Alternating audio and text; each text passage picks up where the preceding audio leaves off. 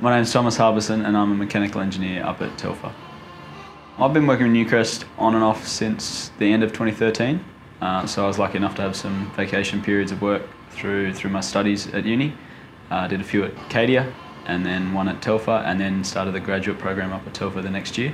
Uh, I came off the grad program early which was nice. There was a, a job there that just popped up so luckily enough slid into that and I've been working permanently since then. As a mechanical engineer, it's pretty much my job to assist the maintenance team. Uh, so they do obviously all the maintenance on all the fixed plant up here, uh, which is important to keep the plant running.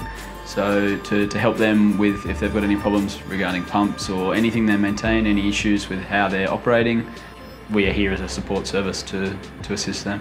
Having the guys come in and say thanks for doing that, Tom, like that's really made our job easier, safer. That's the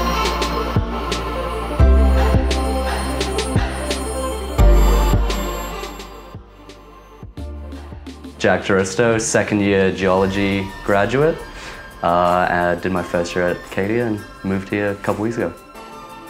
Being from Canada, not used to having, you know, 40 degree heat most of the time, so a bit different, but you do slowly get used to it. Joining the Newcrest grad program, I thought it was pretty cool seeing Newcrest being sort of a really big company and having sort of quite a few different sites around the world as well as, as a geologist, having different deposit styles in the portfolio. So you're not just focused on one thing, you have sort of a variety of deposits to look at, so that does keep it interesting. Um, the other part is coming, having that rotation, so you're not on one site for two years. You get to have that movement from Cadia and then come to Telfer, so you get sort of the exposure to two different ways of, of working. At Telfer you get to see sort of exploration, you get drilling, uh, you get open pit and underground experience, as well as seeing what you know the mining engineers, geotechs, mets do and everything like that. So it's really interesting to be able to see the whole project working together. You're not isolated into your one group and that's all you see. My name is Naomi Sinclair and I am a graduate production engineer in my first year. I started in January and I did about eight months underground and now I've done about three and a half months in the office. I work with the production engineers. Specifically, I have been actually given a project and it's to do with asset management, so treating essentially all the drives in the mine. It's a small part in the big project. I get to kind of direct it myself, so I get the benefits of having to talk with a lot of a lot of stakeholders involved, and that sense of teamwork comes out, but then at the end of the day, I get to really drive it myself.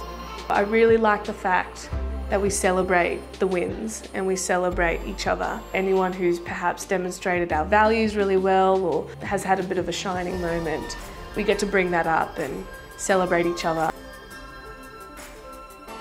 So my name's Guy Morgan. I'm the development scheduler for the PC23 project. So I've just rolled off the grad program into a full-time role now.